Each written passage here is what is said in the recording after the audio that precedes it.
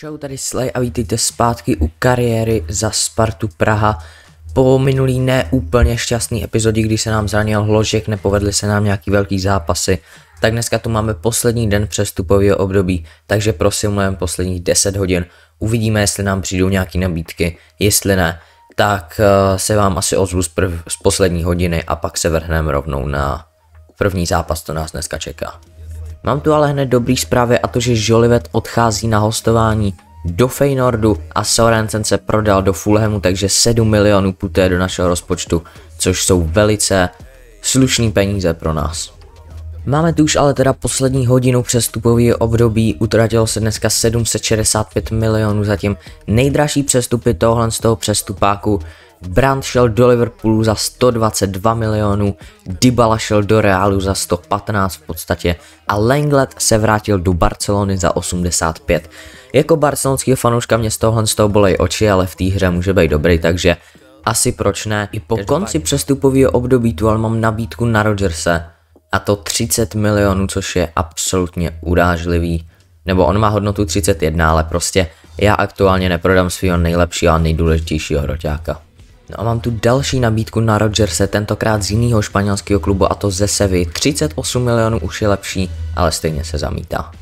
Každopádně jako první zápas téhle epizody mě čekají Spurs, který jsou čtvrtý, jsou 10 bodů před náma mám pocit, takže tohle to bude velice důležitý a těžký utkání.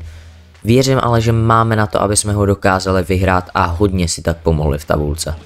Pozor na první útok Tottenhamu. A je to gol. Nevadí.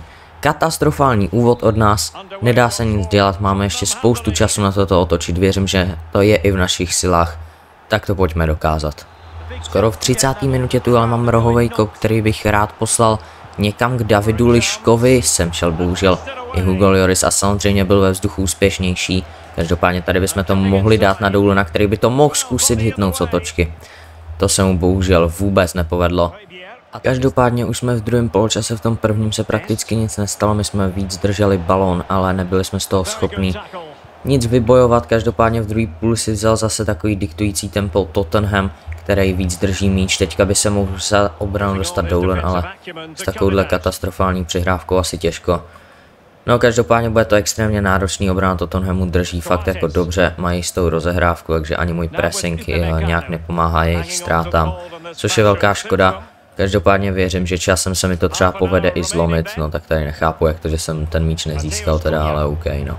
No a tady jsem ve velkých problémech, Liška tady naštěstí stihl zastoupit Godfreyho, dobře si to vypomohli, výborná týmová práce a naopak teď... No a pozor! Je to 2-0, pojďme se podívat jak. Ah, uf. Ježíš Maria.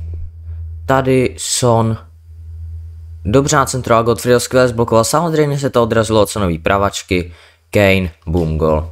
Jo a A bylo jenom proto, že jsem z toho trošku mimo, jo, aby si někdo v komentářích zase nemyslel něco jiného. Je tu konec.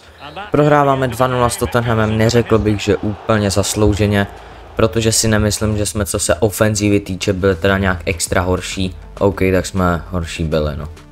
Teď mě každopádně čeká první zápas v Evropské lize ve vyřazovací části a budeme hrát proti Sportingu. Velice zajímavý soupeř, takže uvidíme, jak to dopadne. První zápas hraje doma, každopádně pojďme si dát tiskovku. Jak přistoupíte k nadcházejícímu zápasu, nesmíme Sporting podcenit, to je jednoznačný fakt. A postupíte do dalšího kola, dám, že máme jeden z nejlepších týmů. Každopádně já musím trošku prorotovat sestavu, ale věřím, že i tak dokážeme vyhrát. Zatím v tomhle tom zápase dominuju, ale nejsem schopný to přetavit v nějaký góly, což je velká škoda. Jsem schopný se i jakž tak dostávat dopředu, ale prostě tam nejsem pro Sporting bohužel zatím nebezpečný. Věřím, že to dokážu změnit, ale říkám to už asi po druhý, ale Adam Ložek mi v té sestavě opravdu chybí. Máme tu už úvod druhý půle a pro nás by mohl být hodně hezký, kdyby se tu Rodgersovi podařilo skórovat a Rodgers dává gól 49. minuta By the way, v tomhle tom zápase se mi nezobrazovala časomíra zatím. Je to nějaký zaseknutý. Každopádně Rodgers tu to udělal moc pěkně, dobře to zaseknul, dobře to tady protáh a dobře to trefil mezi těma dvěma hráčema. Velice důležitý domácí gól pro nás. A Rogers tady vybojoval standardní situaci na velice dobrým místě. Tady si to dobře vzal, dobře si to i hodil. Tady byl faulovaný. Takže tu má možnost volného přímého kopu. Já to zkusím asi bez rotace, jestli se mi povede to dát do šibenic. Zkusíme to jenom takhle. Pojď Rogers. Krásně kopnutý. Dřevno. Tak tohle je škoda. Velká škoda. Pakuje tu půjde kopnout rovejko, pošle ho někam sem pro Hanska. No tak pojď Hansko, tady bys mohl být nejvejš. Tam byl ještě golman, Ježíš Maria. Tady už to vypadalo fakt nadějně, že by se tam mohl i dostat, že by tam golman nemusel jít. Golman ale nakonec vyběhl a celou tu akci mi bohužel, nebo akci, celý ten roh mi bohužel překazil. Adam Karabec to tu zkusí tuknout Koladovi, ten nakonec ještě vybojoval míč, ale nedokázal ho bohužel udržet. Každopádně máme tu už poslední minutky tohle z toho zápasu, posledních tak maximálně 10 minut. Tak to pojďme hlavně neskazit. Dobrý pressing tady od našich hráčů Godfrey, tu možná i byl nejvejš, nebo balon se aspoň odrazil na naší stranu. Tohle to už mělo jít na karabce rovnou. Ježíš Maria, tak tohle to mi celou tu akci totálně zkazilo. Každopádně Hansko tu bude muset odvést práci jako levej back, což není úplně jeho normální pozice. Výborně Godfrey, Moriba, chytře to udělal. Velice chytře to udělal, Dolan si tu počkal, dobře si tu počkal. Každopádně stejně byla jeho přihrávka zablokována a Godfrey Výborně, tady mu pressing dost vyšel a Dolan tady stačí, aby to udržel, on to ale neudržel. Ježíš Maria, no a Kadeřávek se tu bude muset rychle vracet. Dobře zamezil případný přihrávce, teďka už ale ne. Godfrey se sem opět stahuje. Godfrey odvedl zase dobrou práci, každopádně nebyla oceněna ziskem míče, což je to nejdůležitější, co teď potřebujeme, dostat to aspoň do autu. Konec, výborně, plus pět minut si ve výsledku, ale první důležitý utkání vyhráváme. Teď jsem tu ale dostal závěrečnou skautovací zprávu o hráči Randall Kolo Muany. Hrotový útočník, potenciálně pravý i levý křídlo, čili velice solidní pozice všechny. A nejlepší na tom je, že já ho můžu jenom podepsat, jemu stačí nabídnout smlouvu a bude v létě můj, takže já v létě budu moct třeba prodat Minčeva nebo klidně i jeho prostě, nebo nějakého dobrýho hráče a on ho dokáže zastoupit. Já mu tu smlouvu musím dát, prostě jakýdlo hráče si nemůžu nechat ujít, 80 rating je reálně fakt jako solidní, i na konci sezóny to pro mě bude velice solidní a mít tři kvalitní útočníky by bylo hodně fajn. Důležitá role je za mě v pohodě, čtyři roky bych mu dal smlouvu, OK, s tím je taky v pohodě, bez výstupní klauzule, přesně to si představuju i já. A plat si řekne sám výborně, a bonus ten mu tam klidně nechám, ale odstraním mu tenhle ten bonus navíc by se dal říct. A on chce 99 tisíc. I tak je to ale o 50 tisíc méně než v Barceloně. A my máme podepsanýho dalšího barcelonského hráče. Moriba, Colado a teď Muany. To jsou tři hráči FC Barcelona, který jsou naši. Takže před novou sezónou nás posílí Muany, Barák a Dubravka. Já si myslím, že už teď mám zajištěný velice solidní hráče. Mě teď každopádně čeká poslední tým tabulky a to Nottingham Forest. Posílám sem trošku slabší sestavu, protože za pár dnů mě čeká Leicester a hned potom pár dnů mě čeká Sporting, nebo je to naopak, buď nejdřív Sporting a pak Leicester. Ale každopádně nějak tak mě teď čekají zápasy, takže já tam posílám slabší sestavu, ale věřím, že by to mohlo na Nottingham Forest stačit. Zatím je to ale nad moje očekávání dost vyrovnaný zápas. Nechci říkat, že jsem Nottingham Forest podceňoval, ale upřímně jsem od nich nečekal takovýhle výkon, protože buď já hraju fakt špatně a nejsem schopný se na ně chytit, což si nemyslím, protože oni podle mě hrajou fakt docela dobře dneska. Nevím, jak to, že jsou na 20. místě tabulky, ale nepředvádějí vůbec špatný výkon. MBU by se teďka ale mohl dostat do liney, kdyby byl ale jenom trošku rychlejší. Paul. OK, nebyl. Tak tady jsem si myslel zase, že zafoulovali teda. A Barbosa mu to vrátí, Martin Minčev si to vezme, vystřelí vedle. On netrefí bránu z takovýhle pozice. Tak to je velice špatný, tady tu bránu teda trefit podle mě stoprocentně, ale že stoprocentně měl Krejčí tady musí vyhrát osobní souboj. OK, ještě bychom mohli dostat jednu šanci. Krejčí mu zpátky, ne, Minčev nedokáže ani nahrát. Barbosa se teď každopádně dostal do vápna a neuvěřitelně to nechci říkat zasmečoval, ale fakt jako dělovou ránou nás posílá do vedení. Výborně to tu udělal, tady to Krejčí dal dobře a Minčev to taky tady udělal pěkně a Barbosa naprosto nekompromisně zakončil jeho první gol v Premier League a velice důležitý gol. No a mu teď dostal skvělý pas od Barbosy a je to 2-0. Tak teďka jsme během 3 minut dokázali udělat to, o co jsme se pokoušeli celý zápas. A Mbeumo nekompromisně zakončil, bo je to pro něj podle mě jeden z prvních gólů tenhle ten rok v Premier League. Barbosa to každopádně opět udělal skvěle, Mbeumo taky vyslal dělovku a je to druhý gol v Premier League, to není vůbec ideální statistika z jeho strany. A Martin Minčev se dostává do šance, ale trefil tyč. Tak ten nemá úplně svůj zápas. Thomas to tam nedokázal poslat škoda. No a Barbosa, je to 3-0. Tak Barbosa dneska předvedl fantastický vystoupení. Ukazuje, že to je kvalitní hráč, jenom se potřebuje trošku rozehrát každopádně.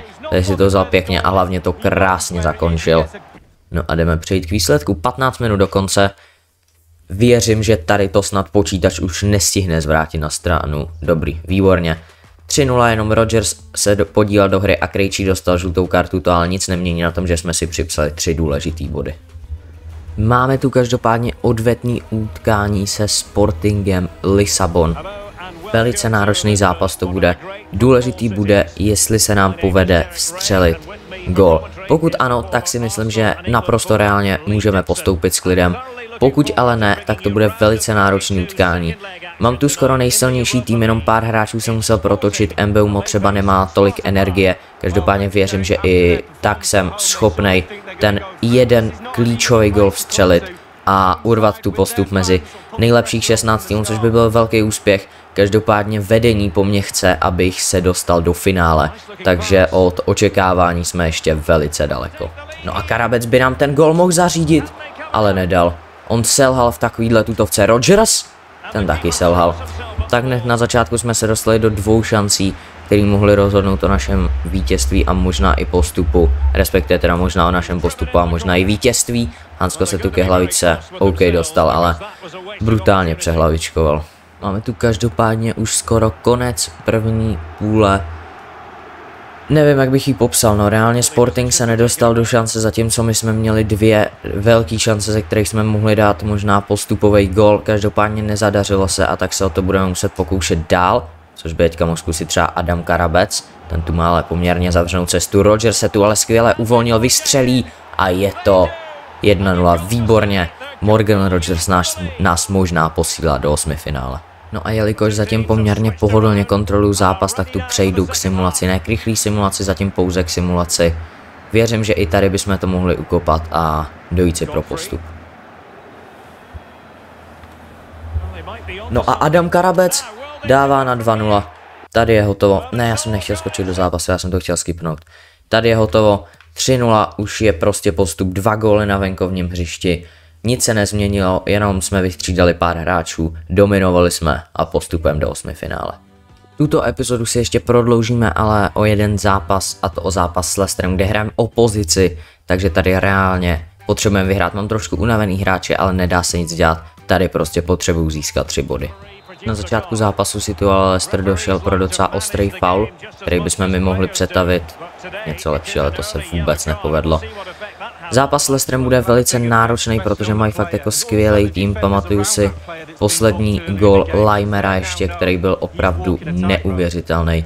Každopádně opět bych chtěl připomenout, že tahle ta epizoda je přednahraná, protože zase nevím, jak o prázdninách budu doma a budu mít možnost nahrávat, ale chci, abyste měli pravidelně z, uh, díly z kariéry, ale nebojte, třeba poslední sezónu, kdybych se k ní náhodou dostal, tak tu určitě hrát nebudu, protože tu si chci nechat a chci s váma třeba, řekněme, komunikovat i případný přestupy a takové věci. Tahle ta sezóna ještě určitě není poslední, takže to se nebojte.